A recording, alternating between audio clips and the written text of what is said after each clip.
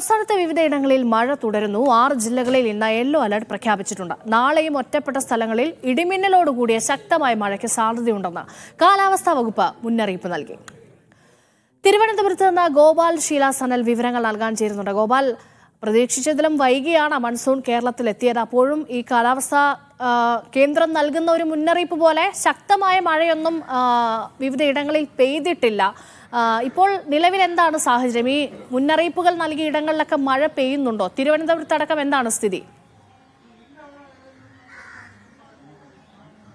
രേഷ്മ തിരുവനന്തപുരത്ത് ഒരു തെളിഞ്ഞ കാലാവസ്ഥയാണ് ഉള്ളത് എന്ന് പറയാൻ സാധിക്കും രാവിലെ മുതൽക്കേ തന്നെ സാധാരണഗതിയിൽ ഈ സമയത്ത് എത്തരത്തിലാണോ വെയിലുണ്ടായിരിക്കേണ്ടത് അത്തരത്തിൽ തന്നെയുള്ളൊരു കാലാവസ്ഥ തിരുവനന്തപുരത്തുണ്ട് പ്രധാനമായും മധ്യ കേരളത്തിലാണ് ഇന്ന് മഴയ്ക്കുള്ള സാധ്യത കാലാവസ്ഥാ നിരീക്ഷണ കേന്ദ്രം അറിയിച്ചിരിക്കുന്നത് രേഷ്മ സൂചിപ്പിച്ചതുപോലെ തന്നെ കാലവർഷം എത്താൻ വൈകിയിരുന്നു ഏകദേശം എട്ട് ദിവസത്തോളം വൈകി ജൂൺ ഒന്നിന് തന്നെ എത്തുമെന്ന്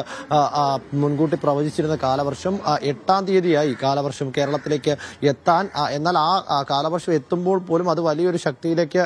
എത്തുന്നില്ല സാധാരണഗതിയിൽ കാലവർഷം സമയത്ത് ലഭിക്കേണ്ട മഴയേക്കാൾ അൻപത്തിയെട്ട് ശതമാനം മഴ കുറവാണ് അതായത് പകുതിയിലധികം മഴ കുറവായിട്ടാണ് ഇപ്പോൾ ലഭിച്ചത് എന്നതാണ് പ്രാഥമികമായുള്ള ഒരു വിലയിരുത്തൽ ഇന്ന് മധ്യ കേരളത്തിലെ ആറ് ജില്ലകളിൽ യെല്ലോ അലർട്ട് പ്രഖ്യാപിച്ചിട്ടുണ്ട് ആലപ്പുഴ എറണാകുളം ഇടുക്കി തൃശൂർ മലപ്പുറം കോഴിക്കോട് ജില്ലകളിലാണ് യെല്ലോ അലർട്ട് പ്രഖ്യാപിച്ചിട്ടുള്ളത് ഈ ജില്ലകളിൽ ഇന്ന് ഇടിമിന്നലോടുകൂടിയ കൂടിയ ശക്തമായ മഴയ്ക്കുള്ള സാധ്യത പ്രവചിക്കുന്നുണ്ട് കൂടാതെ തന്നെ മറ്റു ജില്ലകളിലെ ഒറ്റ ഒറ്റപ്പെട്ട ഇടങ്ങളിലും ശക്തമായ മഴയ്ക്കും ഇടിമിന്നലിനും സാധ്യതയുണ്ട് എന്നതാണ് കാലാവസ്ഥാ നിരീക്ഷണ കേന്ദ്രം അറിയിക്കുന്നത് മധ്യ കിഴക്കൻ അറബിക്കടലിൽ രൂപം കൊണ്ട ബിബോർജോയ് ചുഴലിക്കാറ്റ് അതിതീവ്ര ചുഴലിക്കാറ്റായി തുടരുന്നതാണ് കേരളത്തിലേക്ക് കാലവർഷം എത്താനുള്ള